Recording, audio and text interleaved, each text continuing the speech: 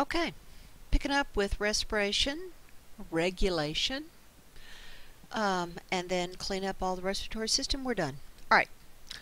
So, some things about regulation. Lung perfusion. Um, basically, blood vessels in different parts of the lungs can dilate to get more blood into different areas of the lungs where there's low PO2 uh, for more pickup into blood. That's really about it. Second thing, bronchiolar diameter. Um, more air gets down through the bronchioles, uh, down into the alveoli.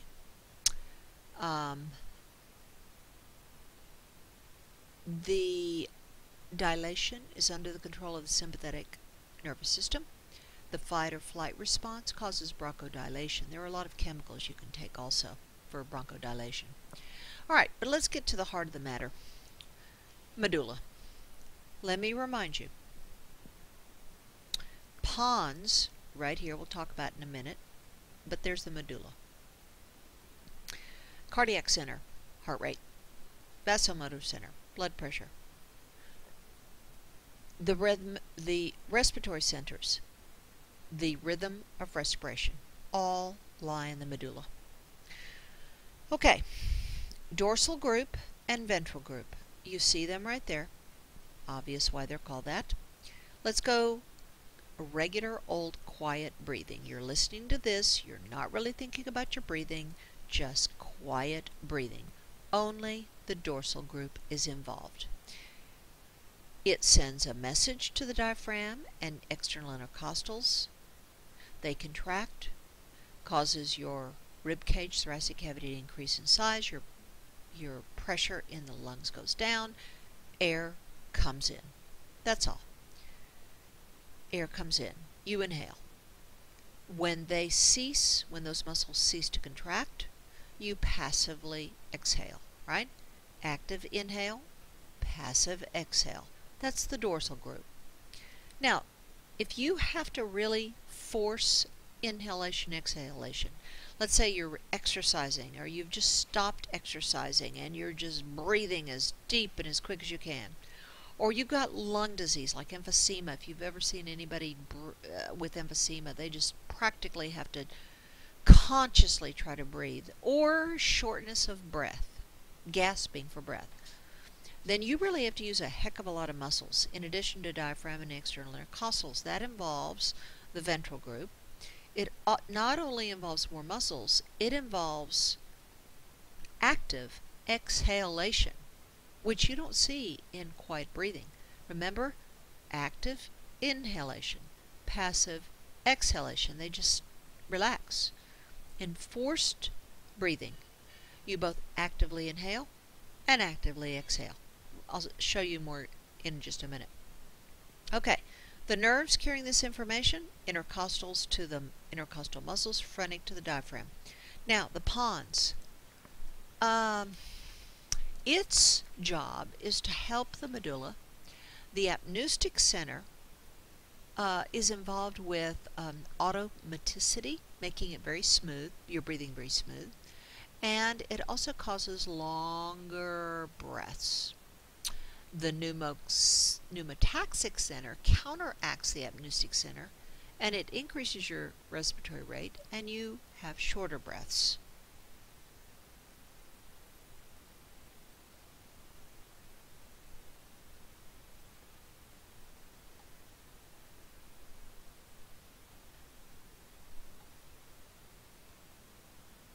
Okay. So here's a look at normal breathing quiet breathing.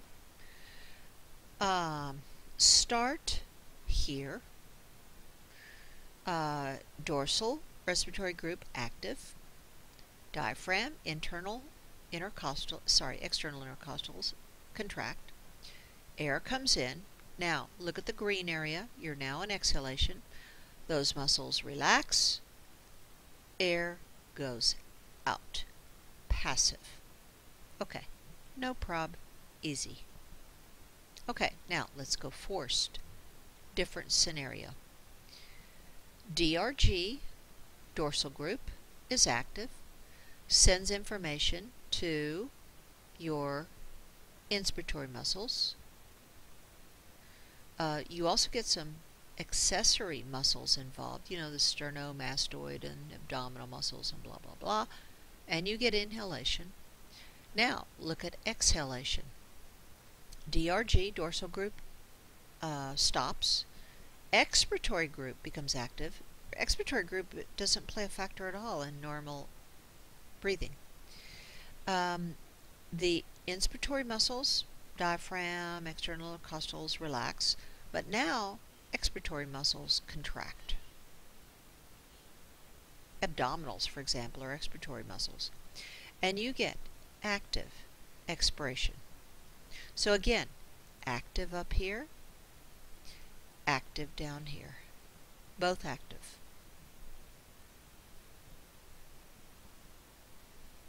Alright.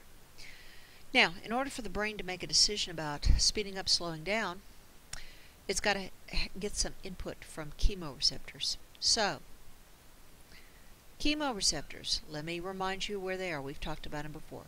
In the carotids, right here, going to the brain, obviously. That's where the carotid goes. And aortic body right over here in the aortic uh, arch. These are called peripheral chemoreceptors. You also have some chemoreceptors um, in your brain. Remember the choroid plexus is where uh, spinal fluid comes out of uh, the blood?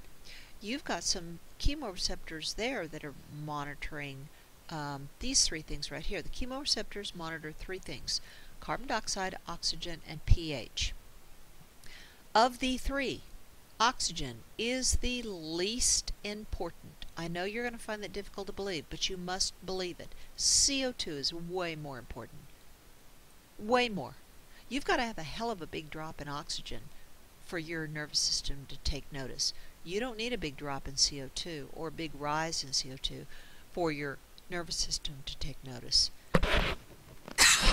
now, there's a connection between pH and CO2. Remember, CO2 becomes an acid, H2CO3, carbonic acid,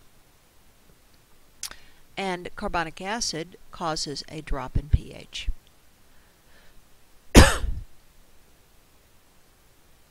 Okay. So, look at this uh, picture on the right. Let's go through a scenario. Um, you're, for some reason, your breathing is slow. And you're not getting enough CO2 out. Your CO2 is accumulating and it's causing your PCO2 to go up. That stimulates your peripheral receptors. It stimulates your central receptors.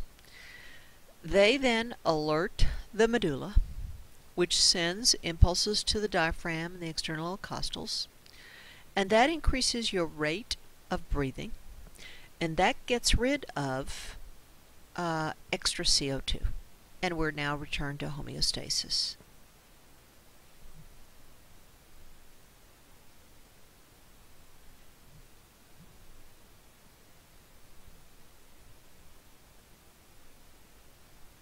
Okay.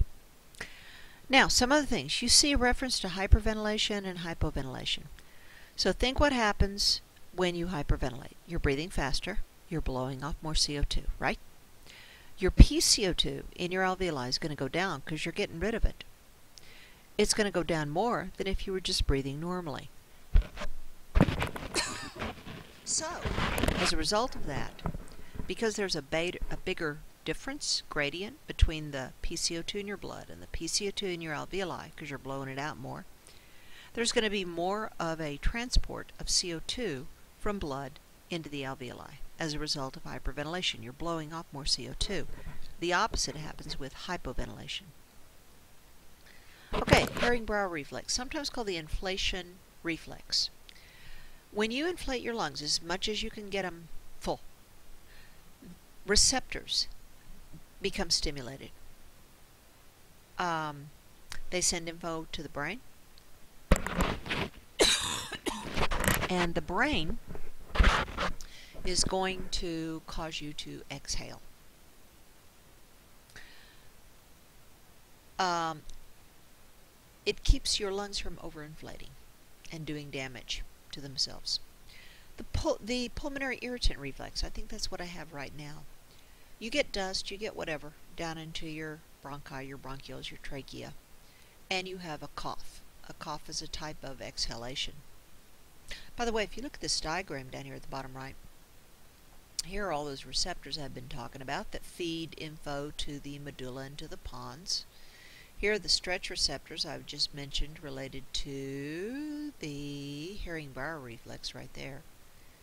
Um, I just was talking about the irritant reflex. There are some receptors right there. Um, conscious cortex. You can decide to hypo or hyperventilate. You can hold your breath. Um, that can so you can actually manipulate your CO2 levels and you really can't do much damage to your oxygen levels because again you have to have huge drops in oxygen in your blood to do much of a difference, uh, much of a change. But you can manipulate your CO2. But when it becomes dangerous, believe me, your unconscious mind will take over. Your medulla will take over from your conscious cortex. Okay, the dive reflex. Um,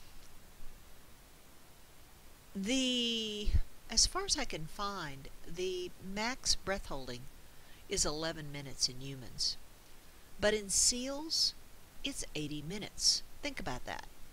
So they're in cold water. Uh, the dive reflex, by the way, is stimulated by cold water. You could actually even splash cold water on your face, and you can mimic a little bit of the dive reflex.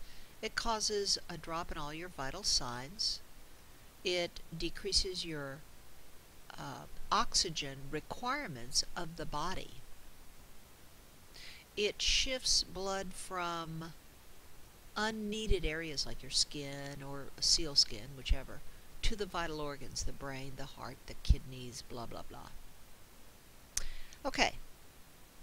The two terms down at the bottom that you see, hypercapnia and hypoxia. We're going to talk about hypoxia right now. It means low oxygen. Hypercapnia is high CO2.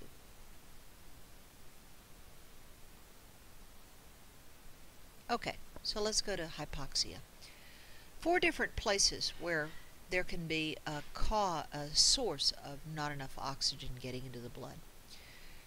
One could be a problem in ventilation. Let's say you're in an earthquake, something falls on your upper body, um, a cement block. You're alive, but you just can't expand your lungs because you got this heavy weight on there. If you can't expand your lungs, you can't increase the size of your thoracic cavity, you can't drop the pressure, remember Boyle's law, air won't come in. So this is a ventilation problem. This is a problem with air coming in, air coming out.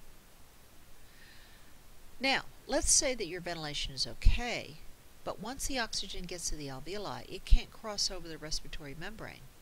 This would be pulmonary diseases like TB, cancer, pneumonia. For example, in pneumonia, the alveoli fill with fluid because of an inflammatory reaction from the bacterial infection.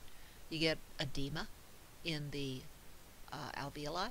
Remember, you're supposed to have very little fluid in the alveoli. It's supposed to be pretty much air sac. The only fluid is right at the respiratory membrane. And the whole thing fills with fluid, and you can't get good tr gas transport. But let's say that your lung ventilation is okay, and transport across the respiratory membrane is okay. So now we're following an oxygen molecule into the blood, but now we got a blood transport problem. How about a blood clot?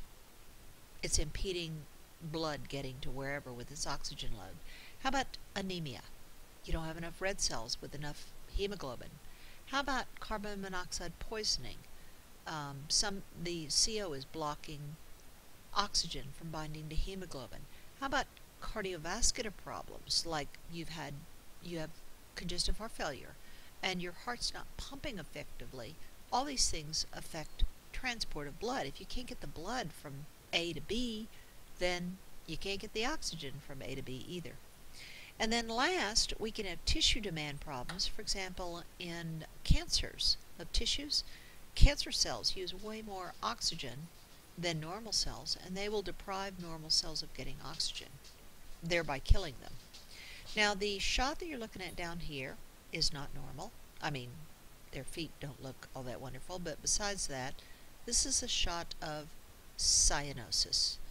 Um, this is a kind of a bluish tinge to the skin because of excess CO2 and not enough oxygen. So this is again a gas transport problem. All right. So let's now go, let's wrap this up with some problems. Okay, exercise. I don't think anybody should have much of a problem here. You're making a heck of a lot of CO2 in muscle metabolism. You got to get rid of it. They have to have more oxygen for metabolism. You got to get it there. So your breathing rate goes up. Okay, blah, blah, blah. You know that. All right, so let's talk high altitude. One atmosphere, okay, at sea level is 760 millimeters of mercury. If you go up to 18,000 feet altitude, you're at one half of an atmosphere, and that is going to be 380 millimeters of mercury pressure, half of what it is here. The problem, remember, the greater the difference in gradient, P in the partial pressure gradient, between what's out there and what's in your body, the bigger the gradient, the better the diffusion. When that atmospheric pressure out there goes down, you have less of a gradient, and there's going to be a problem getting the gas exchange happening. Okay, let's go the other way. Let's go low altitude, and now we're going to go below sea level. Okay, so remember one atmosphere, sea level, 760 feet. All right, let's go down 33 feet underwater. We're at two atmospheres. Two atmospheres times 760, that would be 1520 millimeters. Let's go down to 66 feet. That's not a very deep dive. We're at three atmospheres. Alright? 3 times 760, uh, it's about 2200 and something or other millimeters. We go down to 99 feet. We're at four atmospheres. 4 times 760, um, a, a little over 3,000 uh, millimeters of mercury pressure. So you can see what happens as you get lower and lower in depth. Now, this is not an oxygen. Not, not, not. Believe me, I've dived. When you have a regulator in your mouth and you got a tank in your back, the deeper you are, the easier it is to get oxygen in your mouth. It's actually easier to breathe in oxygen with a regulator when you're deep than when you're at sea level. Really. This is not an oxygen problem, unless you run out of oxygen in a tank, and that's not normal. This is a nitrogen problem. Now we get two problems. We got one problem descending, we got one problem ascending. Now remember Henry's law. Henry's law says that it is the that solubility changes depending on atmospheric pressure. The more pressure there is out there, the more soluble the gas is. And the less pressure there is, the less soluble the gas is. And that, of course, affects the PN2, the solubility of it, right? Now, right now at sea level, I assume you're listening to this at sea level. We're about 500 feet above, but who cares? Um, you're breathing in 78% N2 with every breath. You're breathing out 78% N2. Who cares? It's insoluble at this altitude. It plays no factor in our body. But if you're down 100 feet, then remember you're at four atmospheres. And N2 gas becomes way more soluble. And when it becomes soluble, it now plays a factor in the body. For example, in the brain, where it can cause nitrogen narcosis, which is a euphoria kind of akin to uh, being drunk, which makes you take really dumb chances like following a fish that you're looking at or wandering away from your dive buddy or you keep descending when you shouldn't be going any lower. That kind of stupidity. Now, let's say you're okay, but now you're going to ascend. So now we got the opposite problem because when you drop that pressure out there, because you're ascending, the N2 is going to come out of solution. And it's going to bubble out of solution.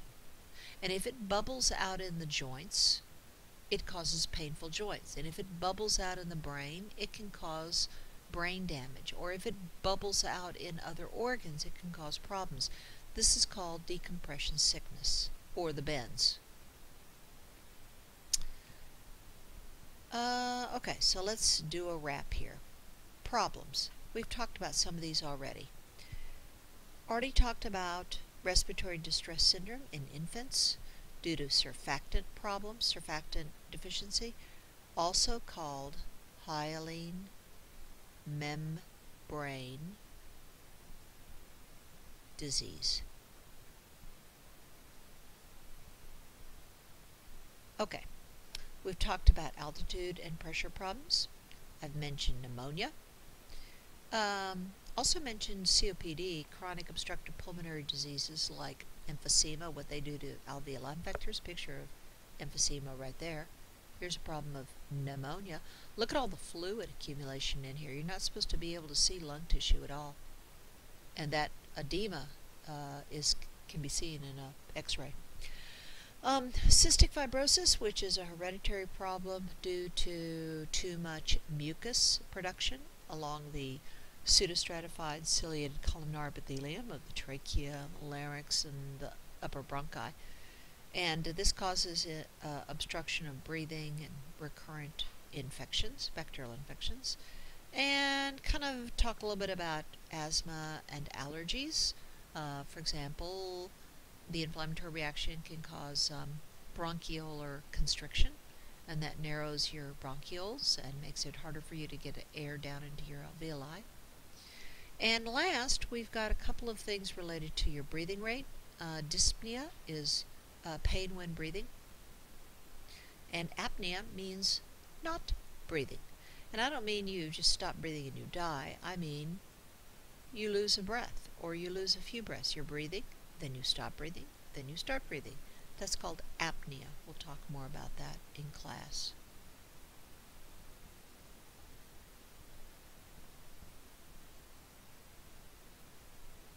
That's it.